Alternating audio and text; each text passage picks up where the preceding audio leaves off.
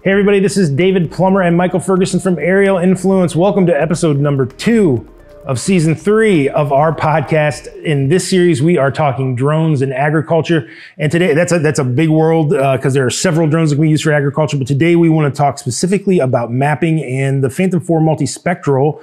Uh, what makes the Phantom 4 multispectral special, Michael?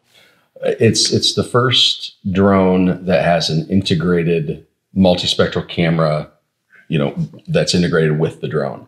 Um, it's RTK, so you're getting higher precision. It has six cameras, so you're getting RGB. You're getting um, narrow bands of red, green, and blue.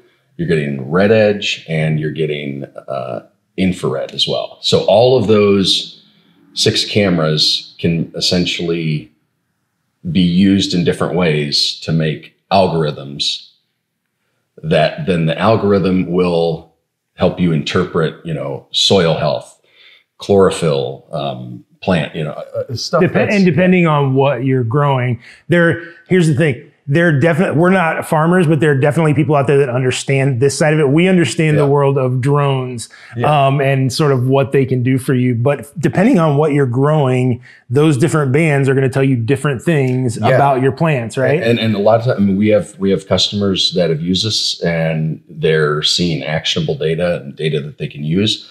Um, but again, you know, you've got different soil types, you've got different crops, you've got different climates so all of that kind of has to be taken into consideration.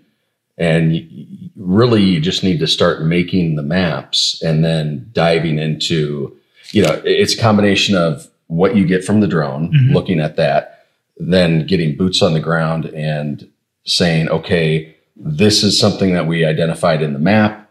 Is it true with, you know, what we're seeing on the ground?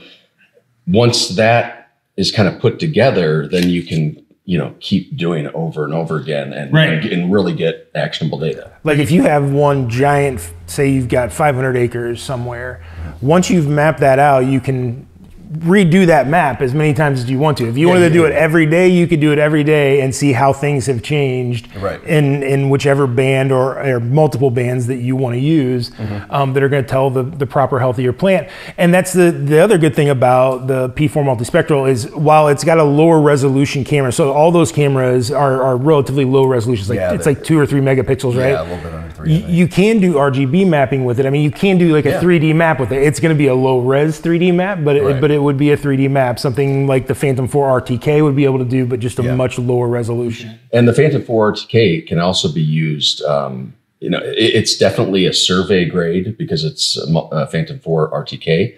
Yeah. Um, but it, it's it's got a high resolution um, camera. It's got the mechanical shutter, so you can actually use both of those. Um, obviously, the Phantom 4 RTK is just going to give you color. Mm-hmm. Um, but it's going to give you, you know, you can survey tons, you know. And for those people that don't, uh, you know, we assume that people that are working in agriculture are going to know what RTK stands for. That's but for those people, if you're just getting real time kinematics, so essentially, you know, it's it's it's constantly looking at the satellites, getting information from the satellite, um, and then feeding those corrections to the remote and also the the drone. So, so it's, it's kind of like triangulating it, and what we what we say is it's, it's GPS on steroids. It's yeah. just it's just a way it's it's giving you that uh, centimeter level accuracy that you're not going to get from GPS signal. Right. Um, you know, while GPS is great, RTK is going to make it exact. It's the same kind of technology that farmers are using in their their self driving tractors. Yeah, so right. it's how they get those perfect lines down the field when there's nobody actually in the cab, or if yeah. there is somebody in the cab,